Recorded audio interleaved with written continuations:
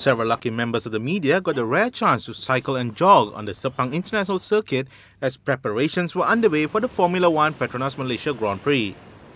Sepang International Circuit CEO Dato Razlan Razali said the press could see the upgrades and resurfacing work that have been done.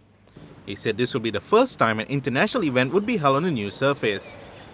I think uh, uh, it's it, Sepang uh, selalu it's an unpredictable uh, circuit.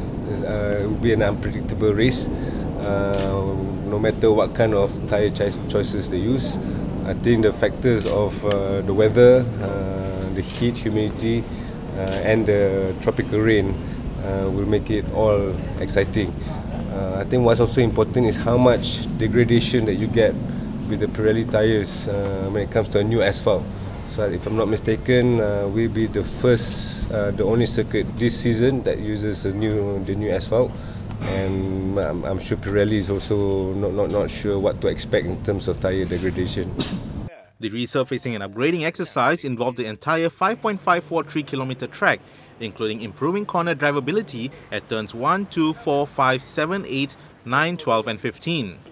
Ini salah satu fasiliti yang baru yang kita uh, siapkan uh, baru sahaja minggu lepas.